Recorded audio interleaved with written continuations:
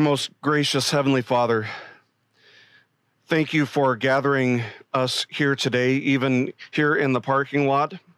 Uh, thank you for uh, your goodness in giving us this day, a day to reflect on your goodness and your redemptive work that was accomplished in Christ Jesus. Thank you that we are reconciled to you through the gospel, and not only reconciled to you, but reconciled to all of your children, including one another as a local assembly of believers. Thank you, Father, for calling us out of darkness and into your marvelous light. Thank you for the grace that has washed us clean and has given us life. Oh Lord, as we consider everything going on in our country today, our hearts are, are filled with grief when we look at the world. But what a great motivation to keep our hearts and our minds set on you and your promises. So we pray today, Lord, that as we as we gather, we would remember your promises. We would remember your redemptive work. We would remember what you have called us to and what you have called us from. Father, we pray for our brothers and sisters in Christ who are in the state of California where the governor has forbidden that they sing praises to you. And we ask, Lord, that they would have the courage, the boldness, the audacity to defy their governor and to sing praises to you. We pray for their governor and we pray for his salvation. We pray that he would govern wisely. We pray that he would turn from his foolishness, instructing your people to do something that you instruct us to do. And we pray, Lord, that you would be glorified in his salvation, if you would draw him to Christ, that he would govern wisely. We also pray for our own local leaders. We pray for their salvation. We pray for their uh, for the counsel that they surround themselves with. And we pray, Lord, that we pray that you would save them. We pray that you would call them out of darkness by your grace, just as you have called us out of darkness by your grace. And for our president, we pray the same thing. And for our vice president, and for our judges. Oh, Father, the darkness in our in our country, in our culture, in our land at this time is overwhelming. But we know that your grace is greater. We know that your power is greater. We know that your kingdom is greater and that your kingdom will never be shaken, even if the kingdom on earth that we live in right now should fall. Yours never will. What great confidence that gives us, Father.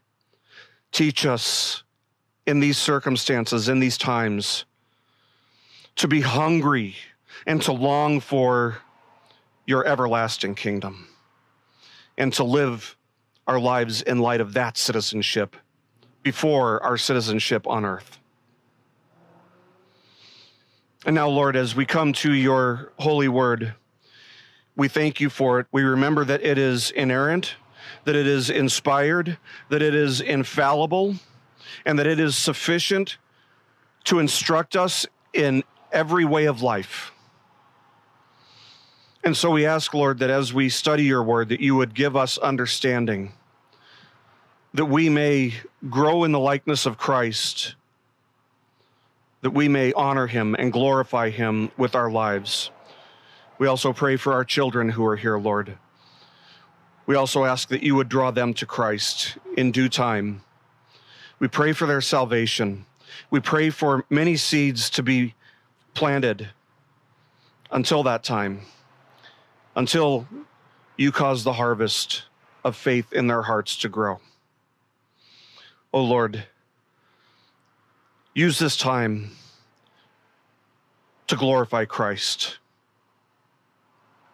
It's in his name we pray. Amen. Well, if you have your Bibles with you, please turn to John chapter 8. We will be looking, actually, starting at, uh, in, in chapter 7, uh, with the final verse in chapter 7. But we'll be looking at uh, John chapter 7, verse 53 through John chapter 8, verse 11. You know, when we started our study on the book of John, I, I did have a little bit of an apprehension, um, something that, that intimidated me just a little bit. Uh, and that was knowing that I would eventually have to preach on and, and cover the passage that we come to today. And I know that that's a very strange thing for a, a, pastor or for a preacher to say, but I hope to explain my apprehension as we go through this passage today. Uh, if you have a Bible in your hands, um, you might notice that the text in John went from either regular text, um, or it went from regular text to either italic text or bracketed text. I've got one of the Bibles from inside the foyer here, and right before verse 15, 53, there's a bracket, and right after verse 11, there's the closed bracket. So between verse uh, chapter 7 verse 53 and chapter 8 verse 11 uh, maybe you'll find a footnote um, but there the, the fact that those things are there either italic text or brackets tells us there's something that we should know about this text. Um, if you do have a footnote in your text, uh, it will probably say something like not found in the earliest manuscripts. This one says, um, Later manuscripts add the story of the adulterous woman, numbering it as John 7 53 to 8 11 your Bible probably says something very similar to that. Uh, and, and, that is a very, very significant detail uh, as we come to a passage like this. And it makes this passage somewhat difficult or, or even controversial to preach. There are people out there who won't preach this text. I will. Uh, but there are there are plenty of people out there who won't preach this text, not because it isn't a beautiful passage. Indeed, it it really is. This is a, a beautiful passage. And it's not because it's a passage that tends to make people feel very uncomfortable. It, it usually doesn't. The thing that makes this controversial or difficult to preach is the fact that we don't know if this passage actually belongs in our Bibles in the first place.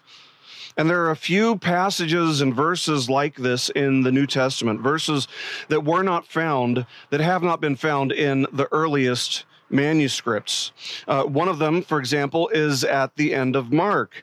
Uh, you may remember if you've if you've been with us for many years. Many years ago, I preached uh, the gospel according to Mark, and uh, when we got to the end, I spent the majority of that final sermon covering the end passage, explaining not only why that passage shouldn't be included in the text, but how, but also how knowing that it shouldn't be in the text actually increases our confidence in Scripture rather than causing.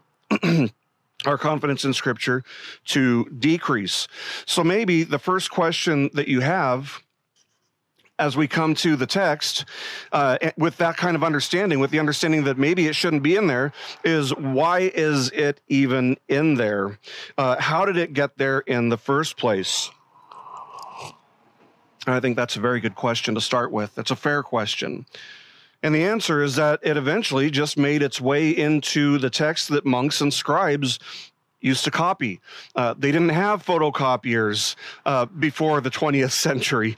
Uh, people copied stuff by hand until the printing press basically was invented. But somewhere along the line, somebody was making a copy of John's gospel by hand, and they probably put this story in there as a side note in the margins. And when somebody else took that copy to make a copy for themselves, they probably figured that the first person had meant to include this story in the text. And so they copied it down as if it were part of the text. And then two people made copies of that copy, and 10 people made copies of those copies, and so on and so forth. And so we have this in our Bibles.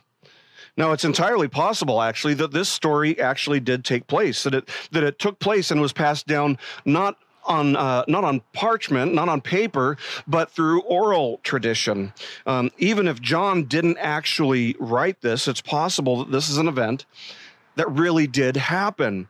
Um, as we'll see when we go through this passage, Jesus doesn't speak uncharacteristically in this passage, although he does act in a way that we never see him acting anywhere else in the four Gospels Matthew, Mark, Luke, and John. And that is when he stoops down and starts writing in the sand. But when he does that, we aren't told why he's writing in the sand, and we're not told what he wrote in the sand. But the idea that this was passed down for over 300 years through oral tradition it's a little bit unlikely, but we do have to consider it to at least be a possibility. Now, you probably realize that we don't possess any of the original manuscripts. In other words, we don't have the actual paper that John wrote on, or that Matthew, Mark, Luke, Paul, James, any of the biblical authors wrote on. What we have are copies and copies of copies. And when you add them up, what you find is that we have actually tens of thousands of copies of the original manuscripts dating from the first to the 15th centuries AD for the New Testament and dating from the fourth century BC to the 15th century AD for the Old Testament.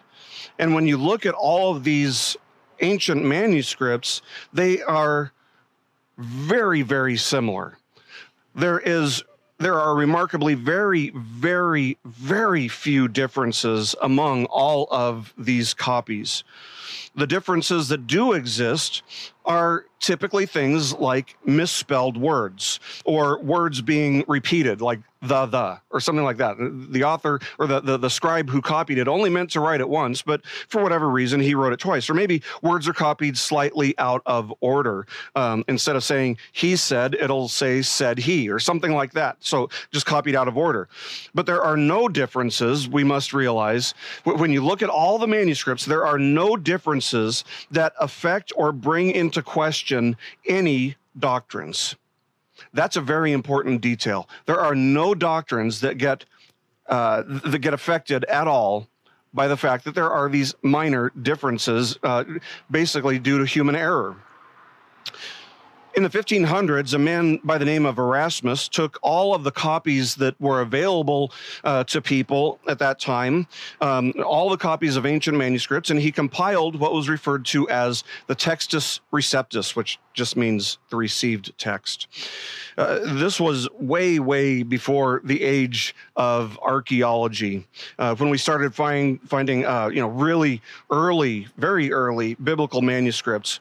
Once we started finding these ancient, very early biblical manuscripts through archaeological discovery, we started using those to help us figure out uh, how accurate the later manuscripts were.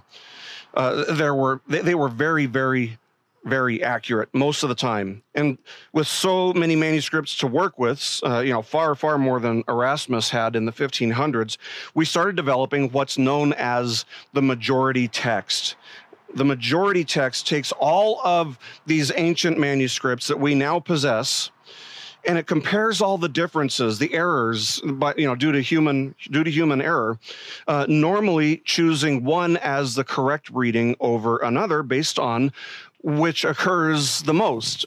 But there's another option when you're doing this type of thing, not only to see what's in the most texts, but to see what's in the earliest texts. So for let's let's say for example you have 5,000 manuscripts uh, that say he said and 1,000 manuscripts that say he believed. It doesn't say he said, it says he believed.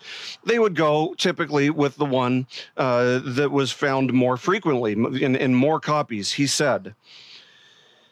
Now, there's a, a, New Testament scholar by the name of Daniel Wallace. For those of you who are in seminary and uh, will be taking Greek, or, or, maybe you have taken Greek, in, in Jordan's case, you'll, you'll undoubtedly become very familiar with him and his work, as his book on Greek is recognized as one of the best, uh, the best Greek syntax textbooks. It's called Greek Grammar Beyond the Basics, an exegetical syntax of the New Testament with scripture, subject, and Greek word indexes. Now, if you think that sounds like a great book to fall asleep to, you're probably right. It's really only for seminary students and uh, and Greek scholars. Uh, Dr. Wallace, though, is famous for his work in this field. He illustrates this process for how we got our Bibles today by doing seminars that he calls the Gospel according to Snoopy. Uh, Dr. Wallace explains uh, how this works on his website, and here's what his website says. He says, quote, here's the basic idea. On Friday night, I will teach some of the basics of New Testament textual criticism. Then I ask for 22 people to volunteer to be scribes. They go into a separate room and copy out a short text in English, each with specific instructions designed to increase errors in the copying process and corrupt the text. The text goes through six generations of copying. Meanwhile, the rest of the people, the textual critics, are trying to reconstruct the genealogy of the transmission of the text, namely, which scribe copied from whom, and think through what kinds of skills and biases the scribes would have brought to their tasks. On Saturday morning, Remember, this started uh, Friday evening. On Saturday morning, we will all get together and the textual critics get busy working on the remaining manuscripts that the scribes produced. Unfortunately, most of the earliest manuscripts have strangely disappeared overnight, including all first generation copies. The textual critics do the best they can with the manuscripts they've got to work with. They record all the variants, and there are always more variants than words in the original text. But unlike New Testament textual criticism, the variants are usually meaningful. The vast bulk of New Testament textual variants are not.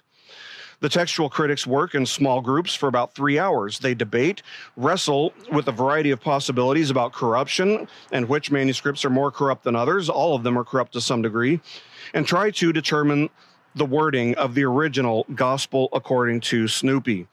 Then all the groups get together and I function as secretary. I write down the major variants on a whiteboard and list what the whole group thinks is the original wording in each place. When I get done posting the variants, the whiteboard is a mess. No one is confident that they've reconstructed the text of Snoopy exactly. Then a miracle happens the original text of Snoopy is discovered and they can compare how they did. How close do they get? End quote. Now, on his website, he just kind of leaves it. He says that he's going to leave that answer for the seminar. But I've, uh, I've heard people speak who have been to these seminars, and so I know what the answer is. He reveals that the worst that any group has ever done was get three words wrong, and that only happened one time since the 80s. Three, three words, one time. But these are amateurs that we're talking about. They're not professional scholars. These are amateurs who are simply using common sense and logic and reason to do what biblical scholars do and they prove that it's you know it is a tedious work but it is possible to figure out exactly what was originally written what this proves is that our Bibles today, your Bible that you're holding in your hand, is incredibly, incredibly precise, very accurate. In fact, over 99.9% accurate. That last 0.1%, that's, that's a tenth of 1%, that last 0.1% that's questionable is stuff that doesn't really carry any weight in the text. Sometimes it's something as simple as whether or not the word and should be included or the word the should be included.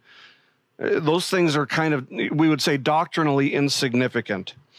And thus, we can trust our Bibles as we read them today with our lives, trust them with our lives and with our souls. Now, before we take a look at the text before us today, I want to say a few things about this text in light of the fact that we're now aware of the fact that it wasn't in the earliest manuscripts and it didn't show up for over 300 years.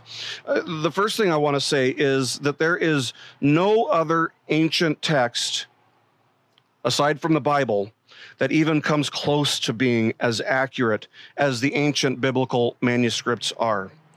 The next closest is Homer's Iliad with 643 ancient manuscripts. Keep in mind, we have tens of thousands of ancient biblical manuscripts. Homer's Iliad has 643 ancient manuscripts, which contain some very significant differences, but nobody doubts or questions what Homer's Iliad says. The ancient manuscripts of the Iliad aren't anywhere near as close to, to resembling one another as the ancient manuscripts of the Bible are. So, if we can trust the Iliad as being accurate, as scholars do, there is no reason to ever think that we also cannot trust our Bibles. Secondly, we should note that there are, in fact, very, very reputable, very good, sound teachers who think that the text that we're coming to today does belong in the Bible. So this is not a, a black and white issue. This is not something where there, there's a, a, unanimous consensus. Uh, R.C. Sproul believed that it belonged in the text. Uh, I believe John MacArthur also believes that this belongs in the text. Uh, there are far more scholars who doubt that it belongs, but my point is that there's room to fall on either side here. I personally, um, if you want to know where I stand, I find myself on the side of the camp that says, you know, it most likely doesn't belong here, but there are good scholars and sound teachers who believe that it does. Third, there are no doctrines found in this passage that are not also found in other places in Scripture. That is to say, that there are no doctrines which stand or fall with this passage. So, whichever camp you find yourself in, the camp that thinks it does belong, the camp that thinks it doesn't belong, this passage does not cause any friction or any theological differences or disparities between the two sides. Not at all. In fact, uh, the same is true of all of the textual variants in Scripture. Not a single one of them results in any doctrine being brought into question.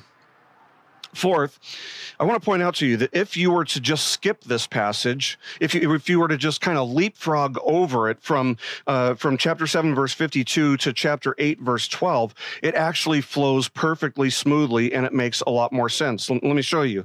Uh, it, it ends with the Pharisees having this discussion in verse fifty two. It says they answered him, uh, or they're, they're, talking to Nicodemus. They answered him, You are not also from Galilee, are you? Search and see that no prophet arises out of Galilee. Now let's skip down to verse 12. Then Jesus spoke to them again, saying, I am the light of the world. He who follows me will not walk in darkness, but will have the light of life. So the Pharisees said to him, You are testifying about yourself. Your testimony is not true. Now, why is that important? It's because in the text that we're looking at today, the Pharisees leave and yet, here they are speaking. But I thought they left. Well, if you go back to chapter 7, verse 52, they didn't leave. And so it makes a lot more sense if you were to leapfrog this passage. The final point I want to make, fifth point, I hope to kind of make the case for this not being included. And thus, as we examine it, one of the things I want to do is show you how many words are in the passage that we're looking at today that are found nowhere else in John's writings. So, given how many words are used here that John never uses anyplace else in any of his writings, and given the fact that this passage isn't found in any of John's manuscripts for the first uh, 300 plus years after it was written, and add to that the fact that not a single one of the earliest church fathers makes a single reference to this text in their own writings, and yet they quote 95% of the rest of the New Testament in their writings. And we've got a pretty solid case. There's a pretty strong case to be made here. So let's go through this, and I'll make some some comments along the way, and, and give some application along the way, and we'll assume that this passage belongs in the text, at least hypothetically, but I'll also show you along the way why I'm not sure that we can say that it does belong. So let's start with chapter 7, verse 53. Everyone went to his home, but Jesus went to the Mount of Olives. Early in the morning, he came again into the temple, and all the people were coming to him, and he sat down and began to teach them. Now, the first thing that makes this passage kind of weird is, is that it says that everybody went to their homes. Remember that this um, that the previous passage took place on the very last day of the feast of booths. So the people would have been heading home uh, either late at night or starting very early in the morning, most likely. But maybe the idea is that Jesus started teaching before those who had traveled from far distances to Jerusalem had started the journey home. That, that's possible. I just want to point out that it starts out by telling us that the people already went home, uh, but maybe that means that they just went back to their tents uh, that they would set up for the Feast of Booths. Let's continue. Starting in verse 3 The scribes and the Pharisees brought a woman caught in adultery. And having set her in the center of the court, they said to him, Teacher, this woman has been caught in adultery in the very act. Now, in the law, Moses commanded us to stone such women. What then do you say? They were saying this, testing him, so that they might have grounds for accusing him. But Jesus stooped down and with his finger wrote on the ground. Again, let me just stop and point out just how kind of weird this is. Uh, in, in fact, it's kind of mystical, it's kind of cryptic. Why is Jesus writing on the ground? And what was he writing? If John isn't going to even give us the slightest clue about those things to answer those questions, then why does he share uh, this detail that Jesus is writing on the ground? All of this adds to the case against this passage being included because this is not John's style to give us a detail like this without giving us any kind of explanation or even any hints as to what was it was ultimately all about. In fact, it's kind of indicative of a heresy, an early ancient heresy called Gnosticism, which refers to a secret kind of knowledge, which was a heresy that John specifically warned his readers about in First John. So it would be very easy for somebody to say, Well, I, I know what uh, Jesus was writing because I have this secret knowledge. So it's just not John's style. I also think it's important to note that this word stooped that we find here in the text is found nowhere else in any of John's writing outside of this passage. John had a very, very simple, a very distinct style of Greek uh, and, and, this passage just doesn't fit his style or his vocabulary at all. In fact, if when you're a student of Greek, uh, usually the first book that you will be given to start translating is the Gospel according to John, because John writes in such simple, plain Greek. Um, these words, some of the words that we find here are nowhere else used by John. They're not as simple as his typical vocabulary. That's just something that we should be aware of. Uh, let's continue. Verse 7. But when they persisted in asking him, he straightened up and said to them, He who is without sin among you, let him be the first to throw a stone at her. Now, I guess the first thing that I would point out is that there are a couple more words in this verse that aren't used anywhere else outside of this passage in all of John's writings. And those words are persisted and straightened. Uh, you can find those words in this passage nowhere else in any of John's writings. Now, I, I do think it's also worth noting that this does and, and doesn't align with uh, due process according to the Bible, the, the process that the Bible required to accuse someone of. Uh, of this particular sin. In Deuteronomy chapter 22, verse 22, we read this. We read, If a man is found lying with a married woman, then both of them shall die. The man who laid with the woman and the woman, thus you shall purge the evil from Israel. So what we should be aware of um, is that the, the Pharisees are not following due process. They're they're not doing what Scripture requires because the man isn't brought before Jesus. Only the woman has been brought before Jesus. But Scripture requires that both of them, if one of them is going to be tried, they both have to be tried and that doesn't happen here. So uh, this actually seems like maybe, maybe uh, something that Jesus would normally have pointed out and brought to their attention, but he doesn't here, and, and that's okay. But but it doesn't seem possible that this kind of stoning actually ever happened uh, during Jesus's day among the Jews, because the Roman Empire, the Roman government, did not give the Jews the authority to execute capital punishment on their own. In fact, that's why Jesus had to be handed over to the Romans for his execution, for the crucifixion. The Jews didn't have the right to carry out this kind of punishment on their own. Uh, and I think that as we imagine this scenario, you know, eh, you, you, probably have a picture of what's going on in your mind. And I think that as we do that, we're kind of prone, perhaps due to the way our own culture has, has influenced us, we're, we're kind of prone to picture the Pharisees as these men who were just crazy and they were chauvinists who just wanted to, to punish this woman. Uh, but we should notice the reason that they've brought her before Jesus.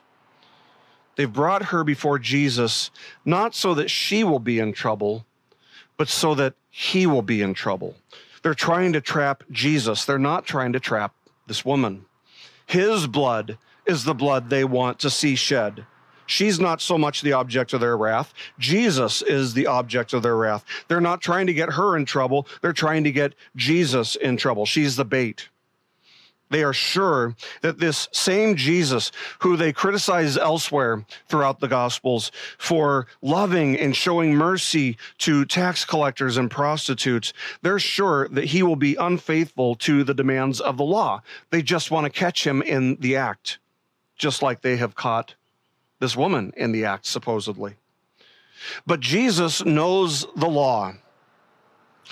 Jesus knows what the Bible says. And when he replies to them here by saying, He who is without sin among you, let him be the first to throw a stone at her, he's actually alluding to the law of Moses himself here. Deuteronomy 13 9 says, But you shall surely kill him. Your hand shall be the first against him to put him to death, and afterward the hand of all the people. Deuteronomy 17 7 says, The hand of the witnesses shall first shall be first against him to put him to death, and afterward the hand of all the people. So you shall purge the evil from your midst. So basically, the, the gist that I'm, I'm trying to draw out for you guys from from those two uh, those two verses is that the person who throws the first stone needs to be an eyewitness. It needs to be somebody who is making a formal accusation against the person. That is what the law of Moses required. So if you're going to bring this accusation of adultery, you, you can't be guilty of it yourself. You, you couldn't have, have been a participant in it. Uh, you can you must have been a, a, an eyewitness who was removed, uh, and you must be the one to throw the first stone. So if Jesus had said, well, of course, if you caught her, she's, she's guilty, she's condemned, he would have been violating the law of Moses because he wasn't an eyewitness. So he's found a way out of their trap here. He's, he's found a way out around the snare that they have set for him. So by challenging the Pharisees to be the one to, to take one of them to be the one to, to cast the first stone. He was challenging them to do what god requires. He's challenging them to do what is ordered in the law. He's essentially asking okay who of you was the one who saw this? Which one of you was the eyewitness? Because the responsibility of throwing the first stone will be on that person. So two things are problematic in the way that the Pharisees are doing this. Number one, where is the man who is participating in this? Because they said they were caught in the act. And who is the eyewitness of this alleged sin? Jesus demonstrates before all these people who are gathered that these men, these religious leaders, these, these Pharisees, not only have no concern for justice, but they have no regard for God's holy and perfect law. Now, that certainly is something. Whether or not this was, uh, you know, th- whether or not this belongs in the text, that is something that repeatedly characterized the Pharisees. Pharisees were not people who just loved rules. No, they were people who disregarded God's rules. They were people who didn't care about what God's word said. They wanted to make up their own rules as they went along to replace God's rules. So, Christians, you know, we often get called Pharisees, whatever. It's, it's just a word. But Christians aren't the Pharisees, even though we get accused of that a lot or called that a lot. The Christian is one who can say with the psalmist in Psalm 119, I love your law. I love your law. While the world, it's the world that does everything that they can to neglect and to violate and to replace God's law. So now, with that understanding, who's the Pharisee? The Christian who wants to obey God's law or the world, which has no regard for God's law. It's pretty cut and dry. It's the world. The world, they're the Pharisees. Let's continue, verse 8. Again, he stooped down and wrote on the ground. And again, this word stooped is only found in this passage of John's writing, nowhere else. And again, this action is uncharacteristic of both Jesus' actions and John's writings. Why does he write on the ground? What's he writing? We have no idea. And, and here's the thing we don't have the liberty to just take a guess. We don't have the liberty to just, just take a guess because there are no clues in the text. What God wants us to know, he tells us. He tells us, and there's nothing here. He never leaves us guessing on anything that we should know. Verse 9. When they heard it, they began to go out one by one, beginning with the older ones, and he was left alone, and the woman where she was in the center of the court. Straightening up, Jesus said to her, Woman, where are they? Did no one condemn you? Again, there's that word straightening, which is only found here in John's writings. It's nowhere else in John's writings. Verse 11 She said, No one, Lord. And Jesus said, I do not condemn you either. Go. From now on, sin no more. I think it's important for us to see here that Jesus is not acting or speaking uncharacteristically there. He's not watering down the gospel. And he's also not watering down the need for people to repent of sin. He's not apathetic toward her sin, not at all. He doesn't say, well, you know, hey, she's a consenting adult. Um, you know, who, who's she really hurting? Uh, you know, what's the problem? He doesn't say that. No, he, he doesn't write off the accusation as being irrelevant. Instead, what we see is that he rebukes her, but graciously he rebukes her and, and instructs her to repent of her sin. So, so this isn't uncharacteristic of Jesus, not, not at all. Now, some people are really bothered when they're confronted with the possibility that this text doesn't belong in the Bible. Just the possibility. But let me just say this.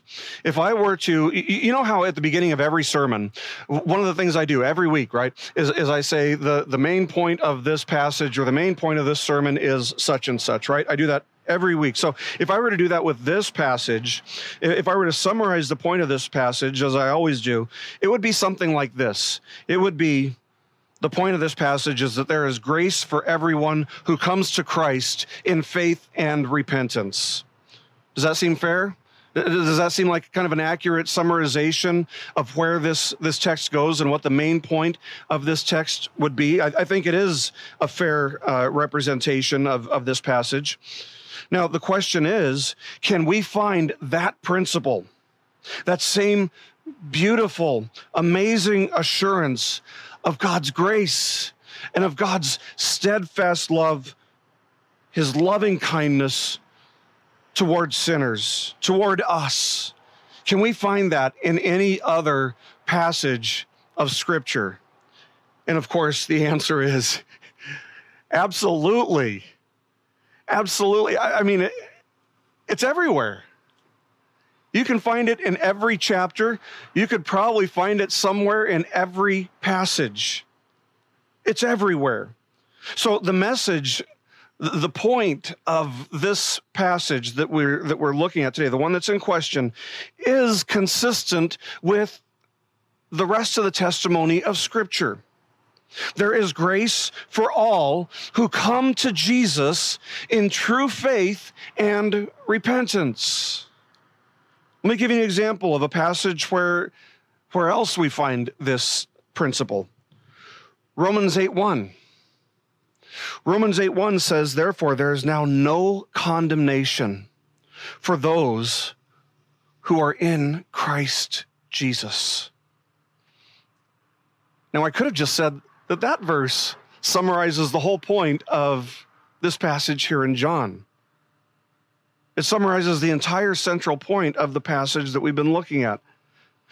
Therefore, there is now no condemnation for those who are in Christ Jesus. For the law of the Spirit of life in Christ Jesus has set you free from the law of sin and of death.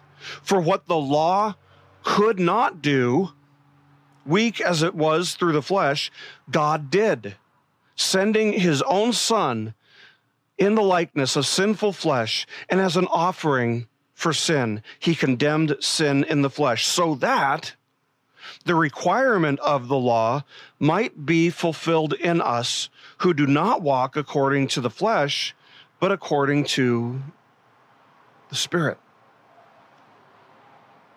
It's from Romans chapter 8, verses 1 to 4. That is the gist. That's the same message that we find in this passage in question here in John. What this tells us, what this reveals to us, is that if you are a sinner, and I mean a sinner of, of any flavor. Uh, you could be an adulterer. You could be a blasphemer. You could be a thief, a liar. Uh, you could be all of the above. If you are a sinner of any flavor, God makes the same promise to you that if you will come to Him through faith in Christ, He does not condemn you. He does not condemn you. Instead, His desire, if you will come to Christ, is to bless you not just to bless you, but to lavish his blessings on you. He will take your sin and he will deal with it in Christ. He'll take your sin and he will remove it from you as far as east is from the west. He will put all of your guilt and all of your shame and all of your sin on Jesus, and he will replace your sin with robes of Christ's own perfect righteousness so that you and I and anybody else who comes to Christ can stand before God not in our sin, but we can stand before God in Christ's own perfect righteousness as if we were the ones to have upheld the law perfectly and as if Jesus were the one to have committed our sin. You do not want God to deal with you according to your sin. You want God to deal with you according to Christ's perfect, unblemished righteousness. If you believe in Christ, you can know that God dealt with Christ according to our sin. You and I must know, friends, that all of us are as guilty of sin as this woman in the passage was. Even if you say you're not an adulterer, even if you have never lusted for somebody just in your heart with your eyes, James says that if you've broken one part of the law, you've broken the whole thing. So if you've committed any sin, you're a sinner. And you're, you're as guilty of sin as this woman in the passage was. It, it's very difficult. We understand it's, it's very difficult to catch somebody in the act of adultery, but it's not difficult. It's not a stretch for us to realize that if any of us has ever even lusted after someone uh, other than our spouse, we're as guilty as God's uh, of, of, of adultery as this woman was in God's eyes. It's difficult for us to catch somebody in the midst of an act like this but it's not difficult for God. It's not difficult for God. He knows it all, He sees it all, and He cares about it all. And for that reason, friends, all that we can do before God is confess that we are as guilty of sin as anyone else ever has been. We can't hide the fact that we're guilty from God, and it is foolish to pretend that we can. And so, come, come to Christ and trade your sin, trade your shame, trade your sorrow. By faith, exchange it for Christ's perfect, unblemished righteousness. That is what God offers sinners. That's what God offers you and me and anyone else who will come to Christ in faith.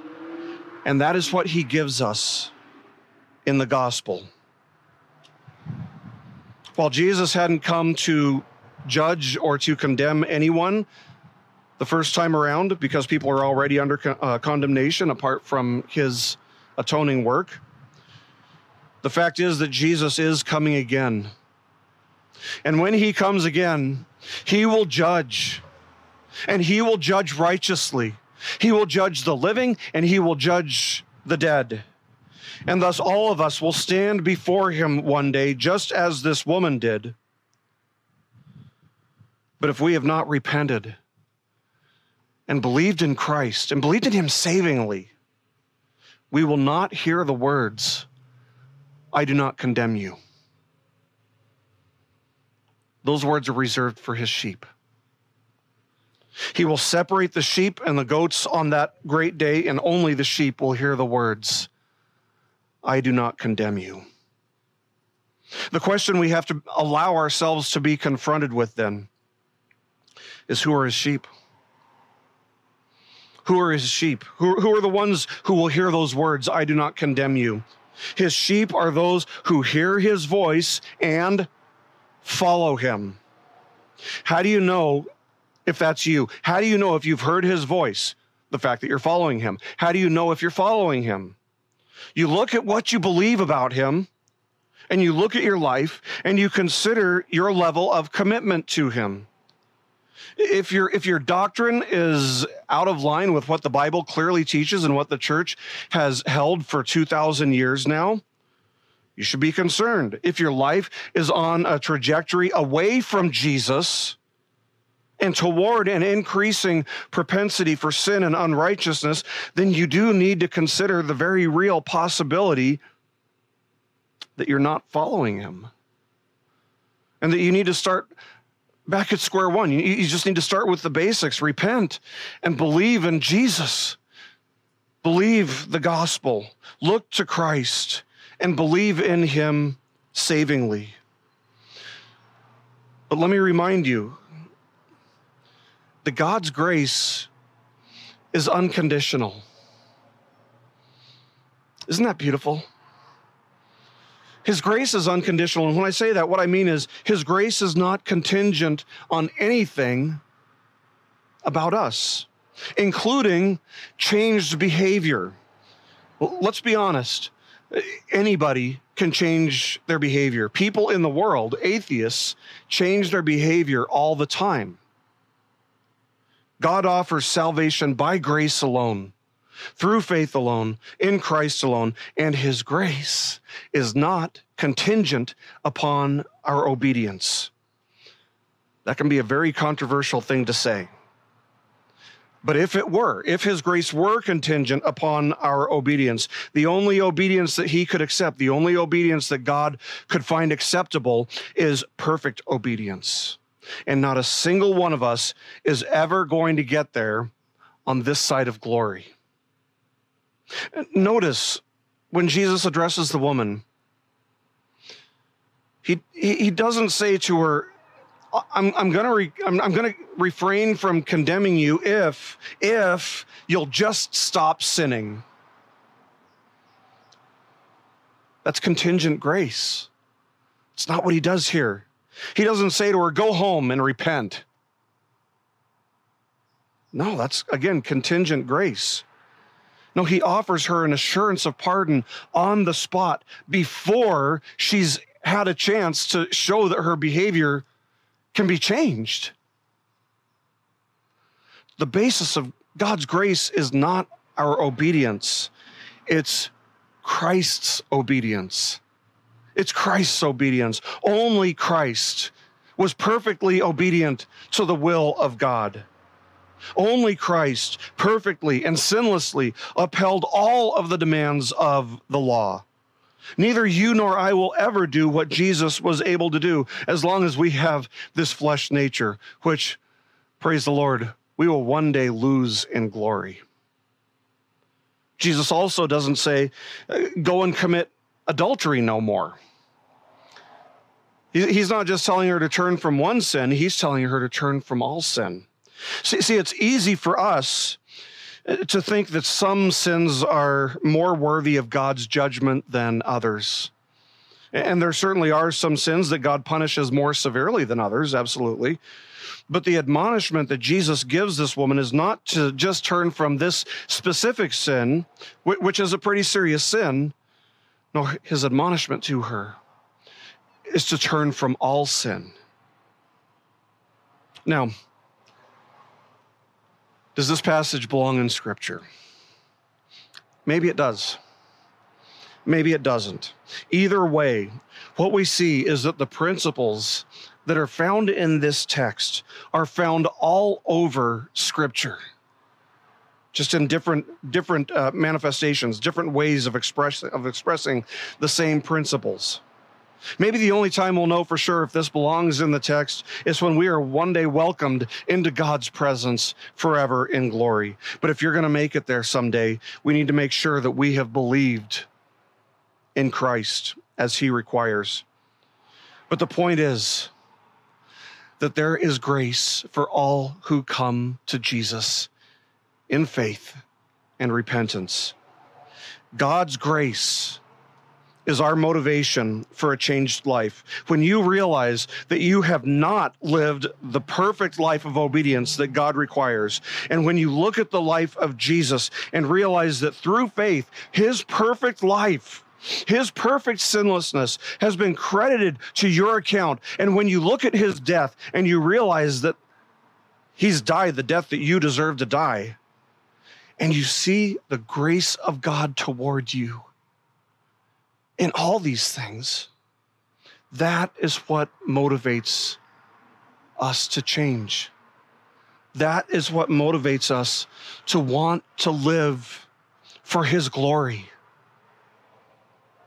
If you are in Christ, if you have believed in Him savingly, you need to know that you are forgiven, not based on your merit based on Christ's merit. You are forgiven. God's grace has been given to you. If you have believed in Him, God's grace has been given to you as a free gift. You can't render yourself more worthy or deserving of it.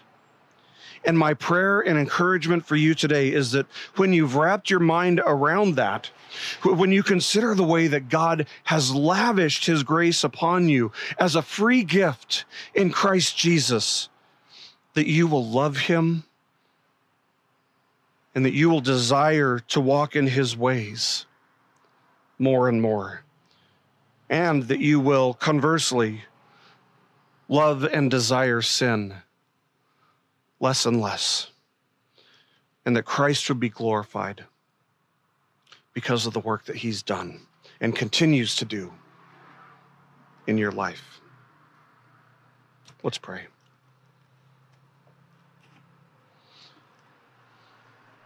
Our most gracious Heavenly Father, we thank you that your grace is so unfathomably great. Lord, whether or not this text belongs in our Bibles. We thank you and we praise you for the fact that we find these principles everywhere, that you deal with us not according to what we have done, but you deal with us according to what Christ has done for us. We could never deserve your grace. We could never earn your grace.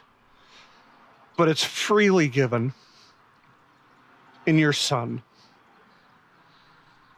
And we thank you for that. We pray that as we wrap our minds around your grace and around the great love that you have for us, that you would call us out of darkness, call us away from our sin and into your light. We pray that as we consider your grace and your love in these things, that our lives would be transformed, that we would become more and more like Jesus, loving your word longing to, to obey your word, longing to walk in the light with you. Thank you for the privilege of knowing that one day we will. One day we will worship you freely in your presence. We will gather around your throne and we will sing with countless voices your praises, and we will worship you as you deserve to be worshiped.